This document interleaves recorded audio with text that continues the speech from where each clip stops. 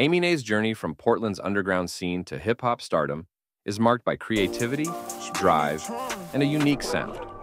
Let's explore how Aminé became a rising force in music. In 2014, Aminé released his debut mixtape Odyssey to Me, followed by his EP En Vogue. His second mixtape, Calling Brio, dropped in 2015, laying the foundation for his breakout moment.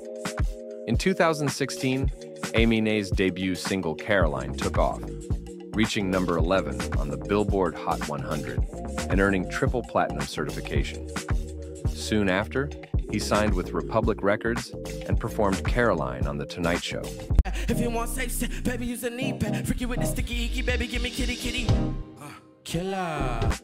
In 2017, Aminé's released Red Mercedes, praised for its throwback sound, followed by a remix featuring Missy Elliott.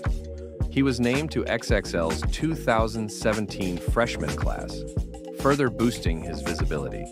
His debut album, Good For You, dropped in July 2017, peaking at number 31 on the Billboard 200. Tracks like Wedding Crashers and Blinds showcased Aminé's fun, colorful style. In 2018, Aminé released 1.5, showing more humor and introspection.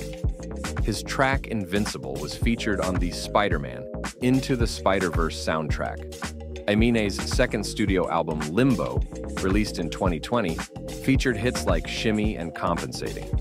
The album marked a more mature phase of his career. In 2023, Aminé's collaborated with Kaytranada on the album Kaytraminé, blending hip-hop, funk, and electronic music. The hit single 4EVA and guest features like Pharrell Williams showcased Aminé's versatility, earning widespread praise and cementing his status as an innovative force in music. From Portland to global stardom, Aminé's rise is a testament to his originality and vision, and his journey is far from over.